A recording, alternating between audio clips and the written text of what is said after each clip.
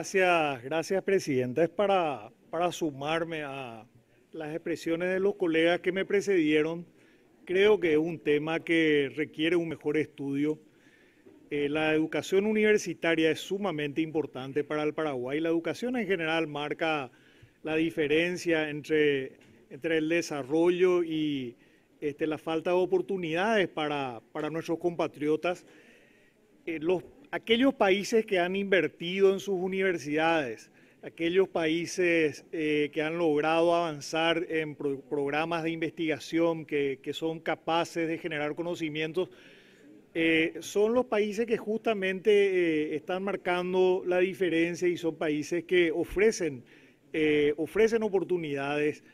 a sus habitantes, particularmente a los jóvenes. Ahora, ¿cuál es el problema cuando las universidades se convierten este, lugares de lucro, porque básicamente en eso se, se convirtieron muchas universidades, lugares donde ni siquiera hace falta eh, ir a clase para, para, que finalmente después de algún tiempo breve uno reciba este, una licenciatura que eh, a lo mejor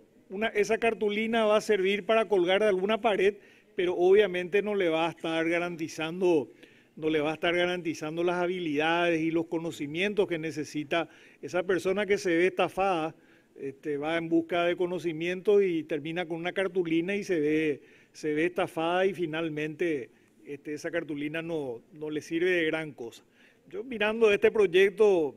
básicamente es,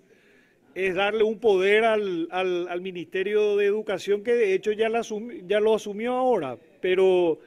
no es una reforma de nada y además, a ver, ¿para qué quiere más poder el Ministerio de Educación si ni siquiera se están pudiendo hacer cargo de sus propias competencias, de las competencias que ya tienen? Ayer, ayer el, ministro de Educación este, sostenía una teoría bastante, este, bastante particular donde básicamente nos decía que le iban a dar a elegir a, a los chicos cuándo, a qué hora comer y iban a hacer un ayuno intermitente. Yo me pregunto si alguno de nosotros le plantea a su hijo hacer la idea de hacer un ayuno intermitente a, chicos que están en edad de crecimiento. Pero bueno, eso dijo ayer el, en una audiencia pública el ministro de Educación. Pero no, para no quedarnos en en la anécdota, se le ha hecho mucho daño a la educación paraguaya, permitiendo que, permitiendo que la única condición para, abrir universidades eh, sea el afán del lucro, este, no apostando a la calidad. Y en el caso de la Facultad de Medicina, pero no solo de Medicina, también uno, también vemos cada colega,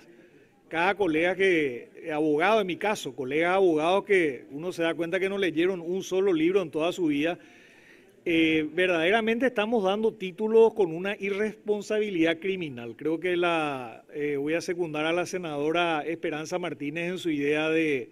eh, ir recordando cada vez que ocurra un caso de, negligencia médica que se produce justamente porque la Facultad de Medicina no,